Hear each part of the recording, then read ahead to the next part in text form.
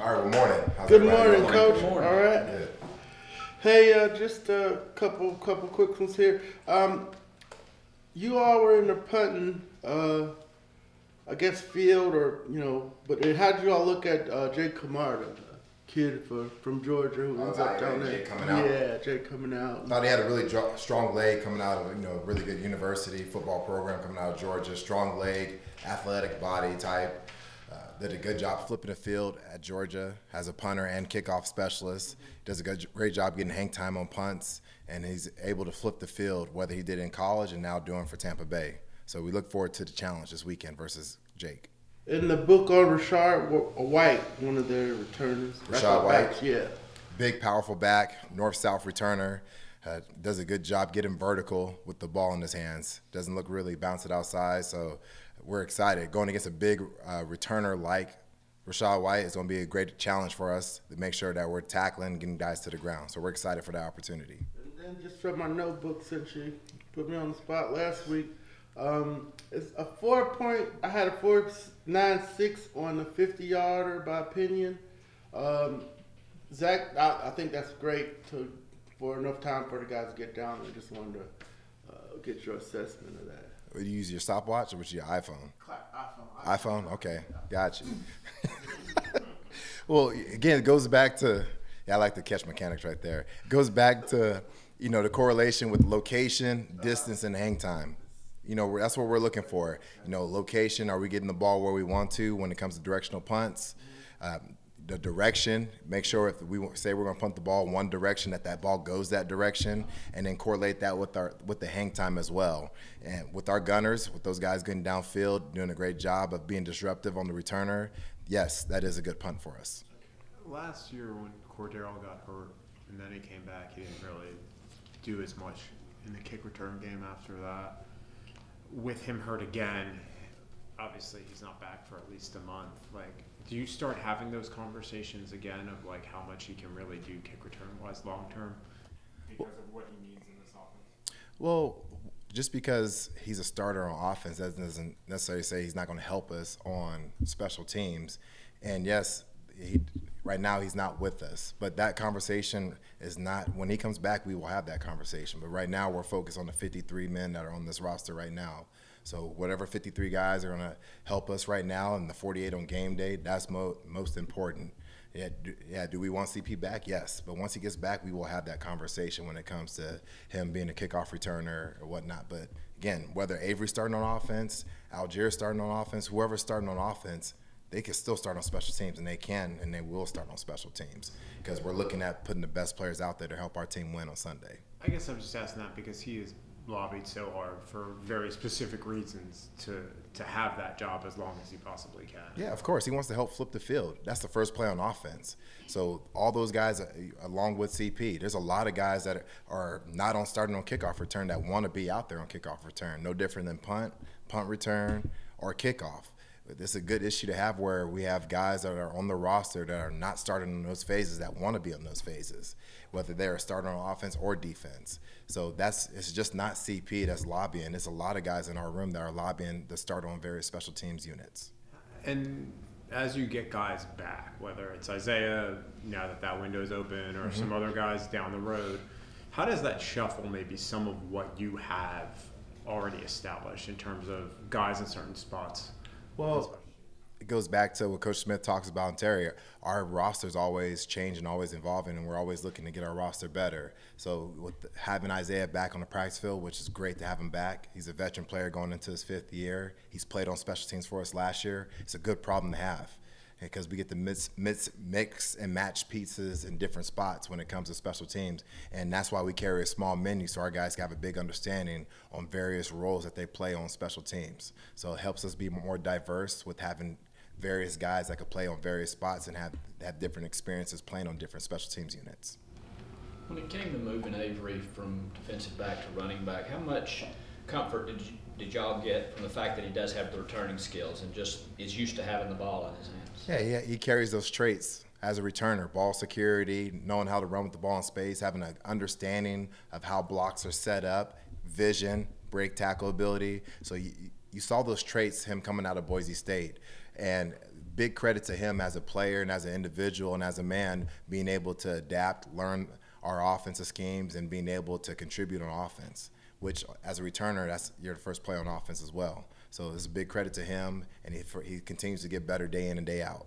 His punt uh, return average is pretty high. Um, what do you like about that number? I think it's about 13. He only has five returns, I think, but like, do you see good decision making, which is leading to productive returns? How do you evaluate that part of his game? It's a it's a combination of a lot of things. It, it starts with the line of scrimmage. Our guys, whether they're blocking at the line of scrimmage, we always talk about winning early in the down. If you're correlated or tied to the line of scrimmage, you have to win early. Pad level, stance, your get off, blocking. So our guys blocking on the line of scrimmage, it starts with there, or rushing the punt. The, the the punter, the force him not to hit his, uh, as best hang time punt or directional punt. And then our jammers, where you talk about Dee Alford, Mike Ford, they're doing a great job out there. D. Hall, Richie Grant getting those blocks out there because those are the fastest guys that get downfield. Because we got to understand in a punt formation in, the NFL, only the end man on the formation they could get downfield first before the ball's punted. So eliminating those guys, those guys are athletic, and then it goes down to Avery. Avery catching the ball, clean catch mechanics, and getting vertical with the football. You know those numbers. Only number I care about is can we gain a first down for our offense? Because if we could gain a first down for our offense and return unit, then that's one less offense our one less first down our offense has to get, and we're that much closer to the end zone.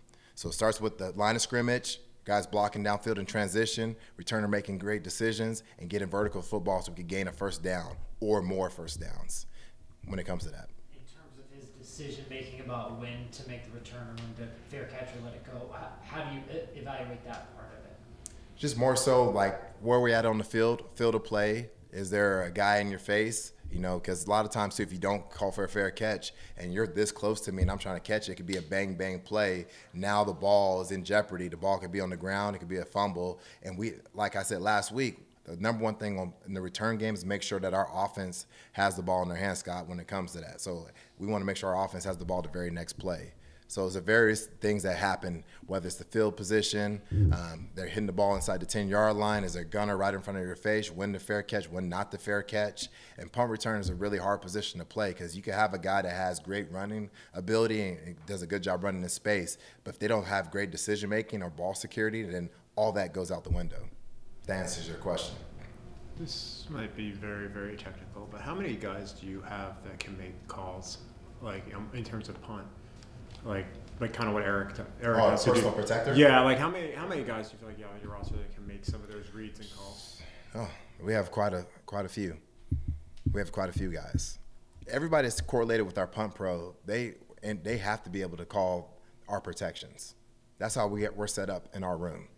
We don't want to just be fixated on just one guy doing it and because injuries happen, things happen. The guy has something happens where the next guy has to go in and be able to play that position.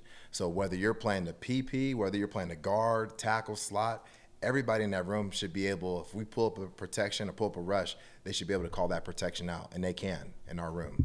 So it goes back to just having a big understanding of what we do conceptually as a punt unit. Does the punter ever do that? I mean, or is he so far back that that's he could call it. He he knows the punt pro before sometimes the PP will even call it, and that's great for him because the more that you know what's going around going on around you, the better you can execute at your job rather than just knowing your job. It's not good enough to know your job. The great ones at this level that play at this the highest level possible, not only do they know what their responsibilities, but they know what's going on around them, which allows them to be more aggressive and execute and play more freely with their position.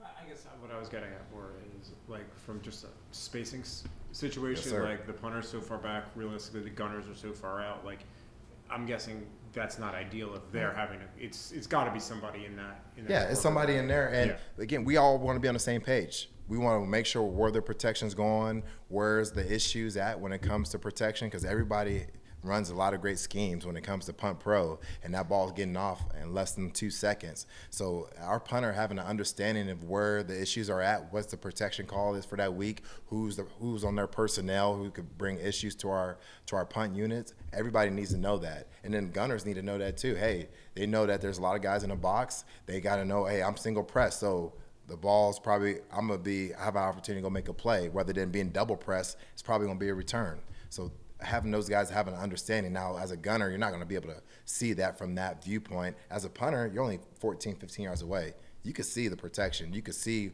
what kind of rush is going to happen, and you could probably have a good feeling of what RPP is going to call when it comes to protection. Right, but just actually physically calling it, that's probably. Nah, we don't need him to do that. He just focused on catching the ball and punting it. And uh, Desmond Ridder holding. Um, how do you teach somebody to hold at the pro level? Whoa, I was actually looking for you pre-practice to come out there and hold, but you kind of ignored me. Yeah, I was looking for you. You didn't want to come out there. Koo made you nervous, huh? Hands got all clammy and stuff. Well, you just work on ball skills, catch mechanics, and then understanding how the our kicker or kickers at this level how they want the ball held. Whether they want a certain tilt with the football, they want the laces pointing a certain way, making sure that you're putting the catching the ball and putting it down on the necessary spot because that's the spot where the kicker expects the ball to be. But with Desmond, there's every week we work on various things, whether it's a backup long snapper, a backup holder, because things happen within the game, and we want our players to be prepared without the opportunity and unprepared with the opportunity. So it's all about us as coaches putting our players in the position where they have the tools to be successful, just in case something happens. It's part of crisis management. Uh, just uh, what is um, I wanted to ask you how to measure the evolution and growth of a defensive unit as you've seen your unit uh, in the last two games with big plays. Well, I just think they're playing better because they're more comfortable with the calls, understanding the calls. Just the, you know, the longer you play the same stuff, even though we do a lot of stuff, the, the more you play it, the more comfortable you know you become. And I think that's part of it is that that the- the problems that we have had in the games have still been communication errors. Um, when we've given up a play, other than like if a guy just makes a good catch, guy makes a good catch, you know, or he beats the coverage because it was the right play against the right coverage or something. That you know, that's that's football. But usually that's not a big play. The the plays like a couple of the runs that we had towards uh, the uh, end of the game. You know, they got 46 yards on two runs, and we, we were just it was miscommunication, and we one we set the front wrong, and, and another one we just miscommunicated something else. So as long as we're communicating and stuff, we, we got a chance. And that's basically been kind of that way all year, and it's still that way. We just got to keep working on communicating and making sure everybody's on the same page. And if they beat you because they block you, if they beat you because a guy makes a great catch, that's pro football. Uh, but you don't want to beat yourselves, and that's kind of luckily in the last couple games in the two-minute drives at the end of the game, we haven't beaten ourselves. You go back to New Orleans, first part of the season, we beat ourselves in the two-minute drive. We miscommunicated. I told you, pressure that we ran in the third quarter that got a sack, we totally, wouldn't even know it was the same pressure in a two-minute drive. Why? I don't know, but that's the stuff you can't, you can't, just can't do that. You can't give teams you just can't give them plays. And that's, that's, as long as we're not doing that, we got a chance.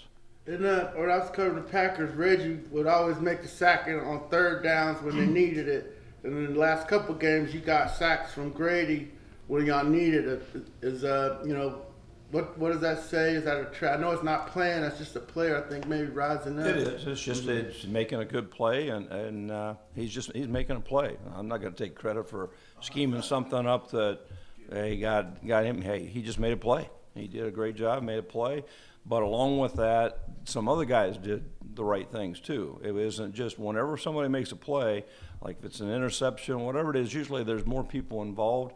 And in that particular case, the secondary did a great job of disguising a coverage and it didn't look anything like what it actually played, which made Jacoby hold it just a second longer, or at least look. He couldn't just plant the back foot and throw it. And by that time, Grady had the guy beat. And so there's always, you know, yeah, it was Grady making a great play, but it was also the secondary doing a really good job of disguising the coverage to, so Jacoby couldn't get rid of it quick. How does Tampa's offense look different right now, maybe versus what you guys saw last year? Well, I think the reason that everybody thinks they look different is because they've had a bunch of players out. Take Mike Evans out of a game, I mean, he's going to look different. and take, you know, Brate, uh, the 84 got hurt in the game, so it looked different. Godwin was out. I mean, golly, start taking all those guys out of the equation, any offense is going to look different. So, th- but those guys are back. So, you know, we got to deal with it.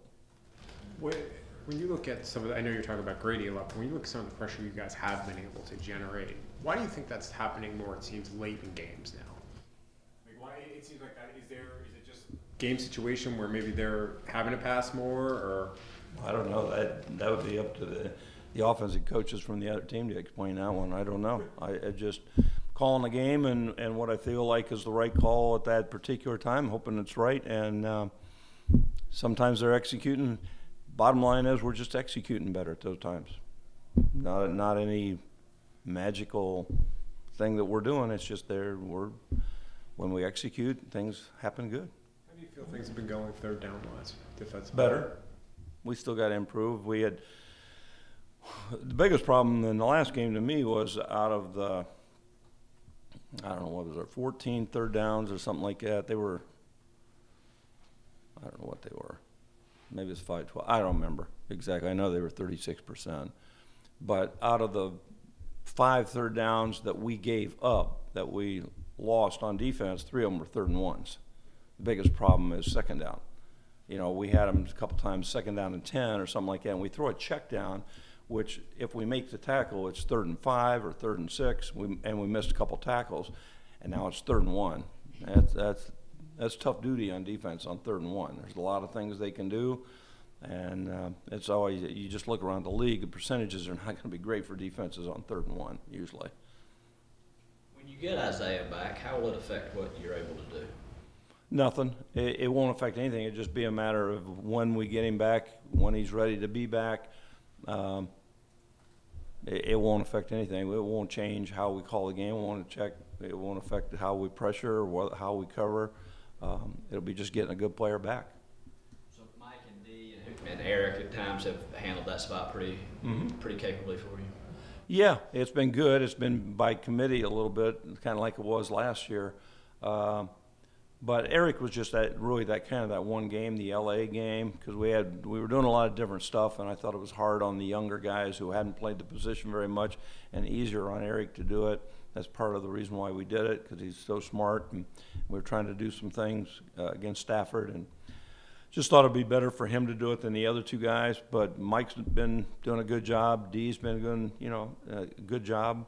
Uh, and so, you know, there'll be competition there with Isaiah coming back. So we'll just figure out what's the best people, best thing to do with the guys that are involved. We'll try to try to make the game plan such that we'll ask them to do things that they can do well. Last year you had said that Isaiah was a guy that could do all of it, and that was what really you liked about him and his Sure. skill set. Is it still the same? I mean, the person, I guess, the person that you have defensively, do you, is it still he maybe still best suited for that, or is it more? I do you have more guys that can do I all will that? not know that, Mike, until I watch him practice and full speed. Uh, so I can't can't really answer that. You know, uh, I, some guys are better covered guys, some guys are better blitzers, some guys are better in zone. Uh, what I do like is like when I had Logan Ryan at Tennessee, when I had Webby at those guys could do it all. It was great. Did I think Isaiah could do that a year ago before he got hurt? Yes. Do I think he can do it now? I don't know. And I won't be able to give you an answer on that until I see him play or actually practice a lot and go full speed, full tilt all the time. Just to go out there and, a jog through is not going to tell me whether or not he's ready. We got we got to watch him full speed in practice to see if he's capable of doing it. And but I feel like if he can't, we, we still got two guys that are playing very well. So. Hey, let me rephrase that a little bit. With what Mike and D and oh, obviously Eric only in one game, but really Mike and D, play, having more than one guy, does that somewhat tip defensively what you're trying to do because those skill sets are different? I, I, that's something I literally just don't know. Does that tip things some way? Or? I don't know. Again, you'd have to ask an offensive coach, but that'd be just like saying this guy out of corner is a. When they study us, they're gonna say, is that guy a good man coverage guy or a good zone coverage guy? Can he do both? They study every one of the guys. So I don't think it's a tip off as much.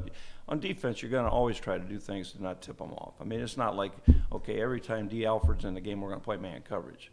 Every time that uh, Mike Ford's in the game, we're gonna play zone coverage. It's not that at all. I mean, I'm not smartest guy in the world, but I can kind of figure out from the other side of the ball that I could probably figure that out pretty quick. So it's just the same way. Okay, you're going to put in this tight end. Well, it's going to be a run because all the guy can do is block, or they're going to put in this tight end because all he can do is go, go out for routes. No, they're going to put tight ends in and make sure that you know that the guy can catch the ball and he can also block. So that's it's no, I don't think it has anything has anything to do with it. The, uh, the, the uh, takeaway count is pretty high over the first four games. Is there anything that you attribute that to? I know there are all Just- different circumstances, but. Just playing faster, I think, and again, understanding the defense more, and whenever you understand it more, you play faster, and usually if you play faster, you create more turnovers, you have bigger hits, all that kind of stuff, that, because guys are playing fast. You usually don't get very many turnovers when, especially fumble cover, recoveries and stuff like that, because you aren't getting very big, big hits if guys aren't playing fast. You know, you get those, uh, doing a little better on the interception thing, um, you know, but again, it just kind of really depends on the coverage. If you play man coverage, you're not going to get a lot of interceptions. You're really advocating sacks because if it's kind of hard to intercept the ball if you're looking at the man. You know, when you play zone, you're looking at the ball, so you're advocating probably less sacks, but more, you know, uh, interceptions or turnovers. So it just goes back and forth, and I hope we're at a point where you really can't say we're a zone team or a man team, or what kind of zone we're in. So that's that's our goal. How have you seen the defense progress in uh, red zone situations over the last two games? They've played better. Again, I think the more you do the stuff, the more comfortable they are. I think we've changed some things a little bit to try to help our guys a little bit.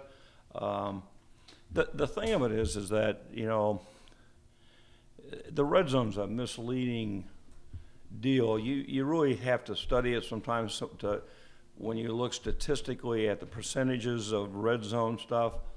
All right, if you if you look back even at the first two games and where we were, everybody would say, well, you're you're not playing very well in the red zone or not playing well enough, which is true. But how many times were we in a blitz and it's just one on one wide receiver against a DB? So it doesn't really have anything to do with the coverage or the scheme of things. There's just at some point in time, you're going to blitz. You're going to say, I'm not going to let you run the ball in. Okay, so when you say that, that's going to put two corners on an island. I don't care what team you look at, that's what it is. And if they fare well, everybody says you play good red zone. If they don't fare well, you're playing poor red zone. Doesn't have anything to really do with the whole red zone scheme. It has to deal with one-on-one battles. And early on, we didn't win those. Lately, we have. So it's, it's made a difference in just winning those one-on-one battles. We can go out here and practice a bunch of red zone coverage and a bunch of different things you do in the red zone, but those weren't the things that hurt us in those first couple games. It just came down to one-on-one. Hey, your back's against the wall. I ain't gonna sit there and play cover two or what you guys call soft coverage by the media. So The old, uh, the idea of complementary football would suggest that defensive coordinators love a run game, love it when their offense is running the ball. What was your reaction to your, your guys' 14 straight runs? I stood there and I actually turned to the defense and said, "We're playing good defense right now.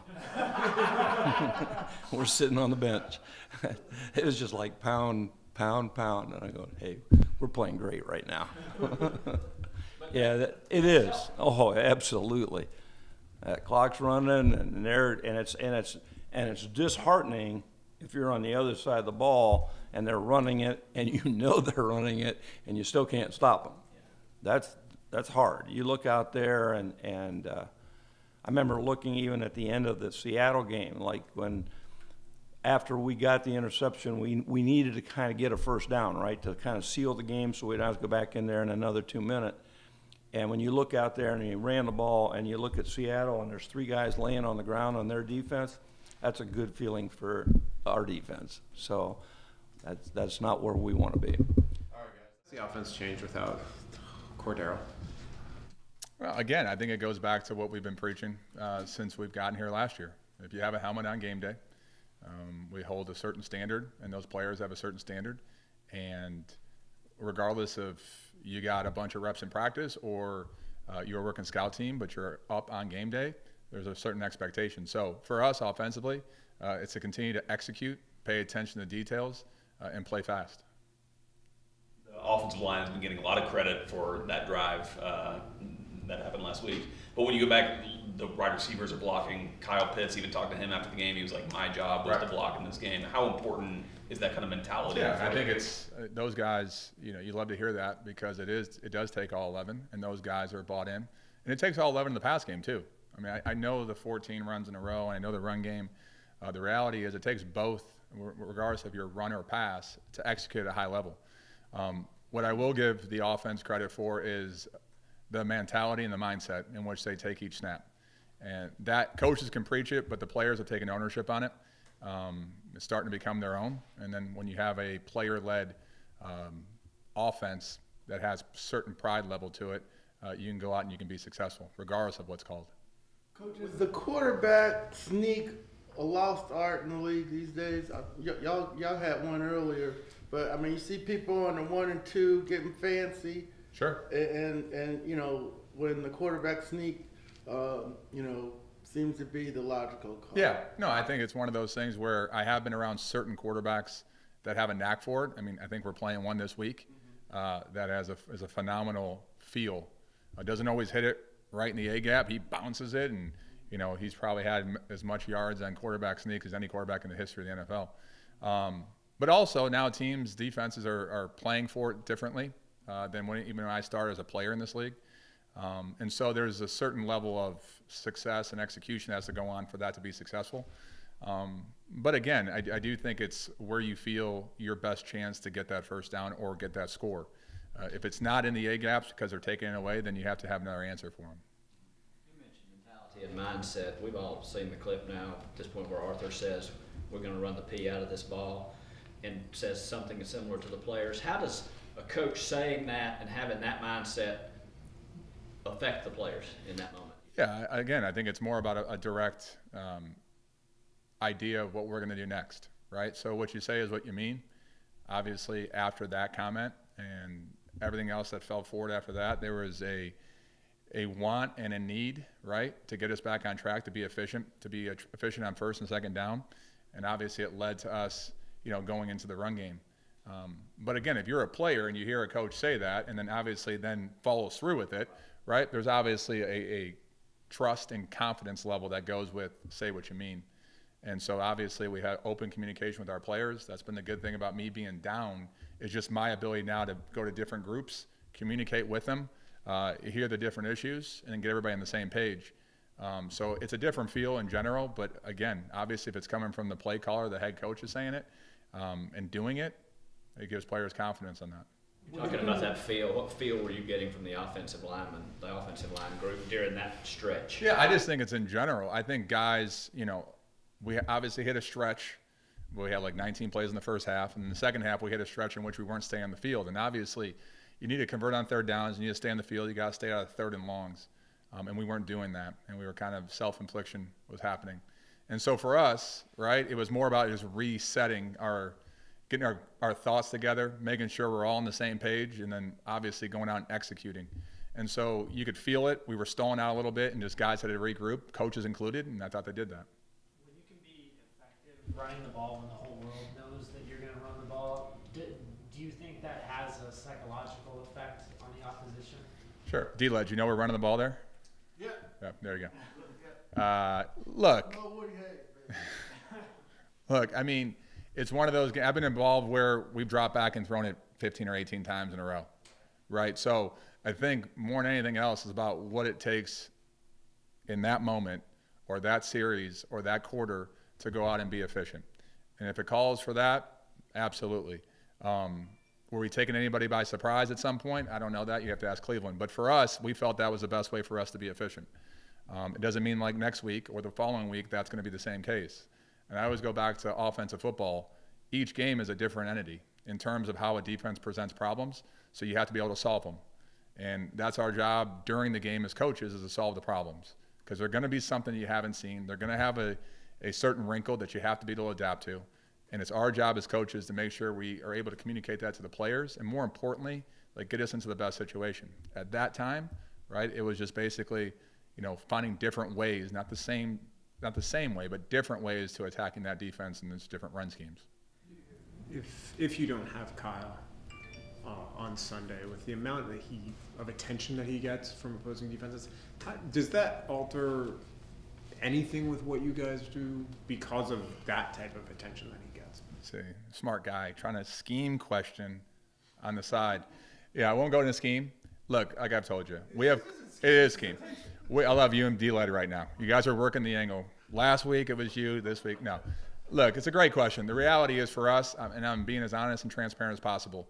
Like we have complete and utter faith whoever gets a helmet on Sunday, and we have a certain way that we like to play football, and we're obviously it's our job as coaches to put them in the best position to do it. And D Light just shook his head on that answer. All right, next question. You can say that, but Yeah. I would imagine. I mean it, though. I, I know I you mean it, Yeah. but the skill sets of Kyle Pitts Sure. and uh, or versus a But I would say this with coaching. Are very different. Agree. I would say this with coaching. It's there's you get to this level, right? To get to the highest level and regardless of sport, but let's talk about this one. There's something that you've done or that you possess as a trait that is elite. Otherwise, you wouldn't be in the National Football League. So it's our job as coaches to make sure that we highlight that elite trait and whatever they do well, and make sure we keep those players in that position and play away. Every player in this league, maybe not Brady, but every other player in this league has a deficiency, right? It's just finding out, right, what staying away from their deficiencies, and then obviously going out and playing to their strengths, and that's our goal as coaches. OZ has hasn't Tip let a to ball touch the ground yet. He, he's caught every ball that's been thrown to him, I should say, for 17 yards per catch. And he's it, the one, the plays he's made off the top of my head, he's pretty open. Is he doing something specifically, whether it's scheme knowledge of the defense or something that has made him kind of a big play target and somebody who's Yeah, that's a good question. I mean, he's look, he's a pro, and what he's able to do is able to. He's got a very, he's a high level of football intelligence and football sense, and so he understands space and timing, and so we have a number of those players that understand that. We we value that, um, and he's able to showcase it. And he's been in positions to make those plays, and where I give him and the rest of the offense credit for when those plays have availed themselves like guys are making them, and that's obviously the, the biggest goal in the National Football League. There's always going to be an opportunity for a player. Some get a lot more than others. The reality is when an opportunity arises, right? Can you cash in on it? And, and that's really that's what separates longevity as a career in this league and guys that don't last. Can you can you rise it to the moment? And right now, there's a number of guys on offense who are doing that. Going back to the trait thing for a second. Not the scheme. I mean, I can ask scheme, que- scheme questions all day, but I think we're just going to go back and forth and right. go in a little circle. It'll not be fun for anyone. Uh, when it comes to traits, what is it that Caleb Huntley has trait-wise, to use your word, that made him attractive to y'all and, Yeah, and I put him think- in this position? I think it's it's like a number of our players. It's the mindset in which they go about their business and, and the style in which they play. Um, again, some things are measured by a stopwatch, a vertical. Other things, when you put the film on, it's the way that guys approach and play the game. And again, some of those aren't going to be statistical things. And so uh, when you look at certain types of players, the reality is you want guys who love football, more importantly, play with a certain type of edge and physicality, regardless of position. People just look at the skill position guys with the ball in their hand. It's really everybody. Um, and guys, you know, leave out the quarterback sometime, and I would argue. I know I'm biased, but one of the more physical positions to play, right? And toughness. And you have to be able to forget things that just happen, good or bad. And you have to be able to stare in that pocket and not blink.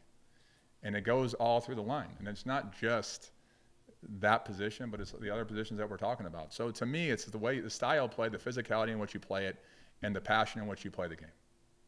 Why has Marcus had some sort of ball handling, ball control issue every week in the fourth quarter? Yeah, I, I wouldn't look at it that way. I understand the question, and I saw the eyes go up there, D led. It's not a scheme question. Uh, to me, at the end of the day, it's about making sure that you go back to your fundamentals, right? And the fundamentals are simple as, as you were taught when you were probably a young kid first starting out. If it's a receiver, you look the ball in, right? If you're a back and you're going through the hole and there's potential contact, right? You're going to protect that football at all costs, and you're going to somehow find a way to get two hands on it. And there's other positions down the line. So again, I'll always say this when it comes to any kind of physical error, it always goes back to staying on your fundamentals, regardless of position.